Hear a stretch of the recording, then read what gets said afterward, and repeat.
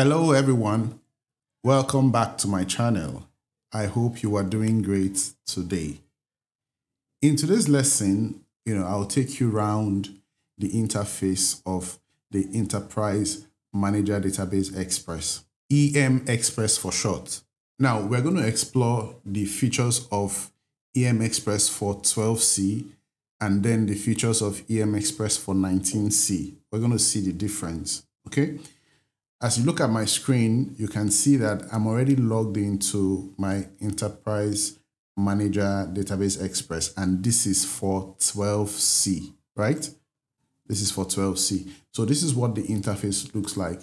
Now, um, before I go further, you need to understand that the Flash plugin that is needed to use EM Express 12C has been deprecated, talking about the Adobe Flash Player, right? So you may not be able to use Enterprise Manager for 12C, okay? But with me, there's always a way out. We have our ways of doing things. So if you want to know, you can reach out to me. I'll tell you how to go about it. So let's start. Down to my right, you see the sys user is logged in. Okay, I'm logged in as the sysdba. And then you can log out with this button.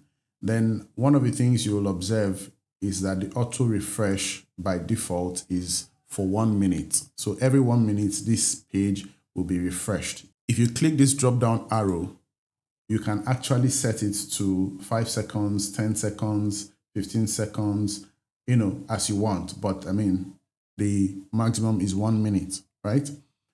Okay, so let's move over to my left and see what is happening. This is your database status page. And then you see the uptime the database has been running for up to 28 minutes now, and the type of database is a single instance. Now, if it's a RAC database, you see it stated clearly, RAC instance, and then you see how many nodes are present in the cluster. Again, another information you observe is that this is a container database with two PDBs. Okay, so if I click this you'll see that we have two PDBs, ORCL PDB, that's the default PDB that comes with your sample schema, the HR schema. And then this one was created by me, PDB1, where I have another schema, the simple order entry schema, that's SOE schema. Okay, I created this one myself. Now, the next thing I want to show to you is the configuration page. Now, if you click this drop down arrow, you see your initialization parameters. Let's go ahead and click and see what happens. So from this page, you can also manage your initialization parameters. All of those things that we're doing with the SQL command, you can do them here, okay? You can click modified to look at parameters that have been modified. Okay, you can also click basic to look at basic parameters. Okay, so this is just um, a quick walkthrough. Then um, if you come back here, if you click on memory, you'll be able to see your entire memory structure for the database. And then down here, you look at your memory allocation history. You see what is allocated for your paging rate, large pool, Java pool, shared pool, and all whatnot, right? You see all of that under the configuration page. And then you can also look at your current database properties. So this is your current database properties. And then if you come down to storage and click on this drop down, you can manage your undo from here. You can see undo management, your redo log groups, active logs, and then your control files. They are all here under storage. So let's go ahead and click the redo log groups and see how many groups we have. Hmm, you can see we have three redo log groups, log group one, log group two, and then log group three. It's very important to understand that um, this database has been configured to use Oracle managed files, okay? So the naming convention will be done by the database itself. And then under security, you can see users, you can see roles. If you click on users, you can see all the database users. Now you can create a new user, under actions, you can still see this create user menu. Now, if you click on any user and then click on actions, now you'll be able to modify either create a user like this user or drop the user and then alter the user's account, alter the user's table space, alter the privileges and roles, okay? And then also um, you can manage your roles from the security page as well. So you see the different roles, you see the DBA role and every other role you can think of in the database, you find it here. So you can create a role here and you can drop role with the actions button. If you click any role, for instance, um, this role now, it's showing you that this is a common user, right? So go back to the home page, just click on this ORCL right up here. Now, another thing you'll observe again is incidents in the last 24 hours. So here, the database will record all of the incidents that have happened in your database within the last 24 hours. So you can see from PDB1, you can see the error message that is displaying. It says PGA memory used by the instance exceeds PGA aggregate underscore limits. Okay, so um, there's a likelihood I have to increase the PGA size, okay, to clear up this, this error. And then the final thing I want to show you on Enterprise Manager Database Express 12c is the fact that you can carry out performance monitoring and tuning, okay, with this tool. I told you before that the Enterprise Manager is one very fantastic tool that every DBA needs to be familiar with. Okay, so at the performance page, if I click this drop down and go to Performance Hub, first before I go to Performance Hub, you can see that there's SQL Tuning Advisor and then there's SQL Performance Analyzer. But let's go to Performance Hub. So here you can see your your database statistics and metrics. Okay. Now, one of the things you will observe is that there's a picker here this picker can be moved to any location. If you observe, there was a spike at this particular time. So let me move this speaker to this point where I had um, serious workload in database and then observe that the chart will change.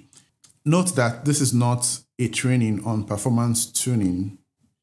This is just to show you how to use the Enterprise Manager Database Express. So this is not a performance tuning class. However, you can use this to, to drill down to the cause of this spike. Now you can also click on workloads to reveal your top 10 SQL statements. Now these SQL statements are probably statements that cause a heavy workload on your database or consuming more resources. Okay, so the next thing I want to do is to try to click on the SQL ID to reveal the actual SQL statement. All right, so this is the SQL ID, and then this is the statement that was actually, you know, taking up so much resources and then uh, causing a heavy workload for the database. If I click on this, it will show me the SQL statement, right? Let me just say, okay. And then if you want to invoke the SQL tuning advisor, all you need to do is to click on Tune SQL, then click OK. Okay, so this is just a brief overview of the Oracle Enterprise Manager Data Express for 12c. Now, let's look at the one for 19c.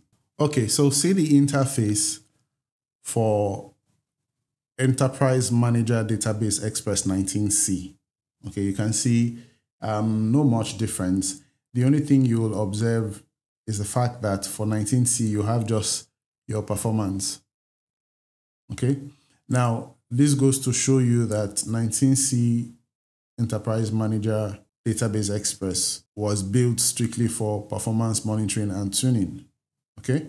Um, first, at the homepage, you see your status, you see uptime, not like the multi tenant database I had previously in the 12C. And then the same thing, auto refresh is by default one minute. Okay, so um, in one view, you could see your resources, see the usage of your host's CPU. And then if you come down here and click on Performance Hub, it displays all your statistics and all your matrices. Okay. If I click on Monitored SQL, you see all the SQL statements that, that are being monitored here. And then the activity page will bring you to this place where you see SQL ID by wait class, okay? And then you look at user sessions. Again, if you click on it and then click on session identifiers, you'll be able to get a user ID or look at the user session, probably a session that is blocking other sessions and all whatnot. So you'll agree with me that the features of Enterprise Manager 12c are more. They actually richer compared to that of 19c, right? So for all you DBAs that are upgrading to 19c, be informed that most of the things you can do with Enterprise Manager 12c, you won't be able to do it with Enterprise Manager 19c. Okay, that will also mean that you have to get used to your SQL commands as a DBA. Like I said, this is just a walkthrough of the Enterprise Manager Database Express for 12c and for 19c. Guys, thank you for watching this video. Please do well to like and share and don't forget to hit the subscribe button and turn on the notification bell icon so you don't miss out whenever I upload another content. And I'll see you in my next video. Bye for now.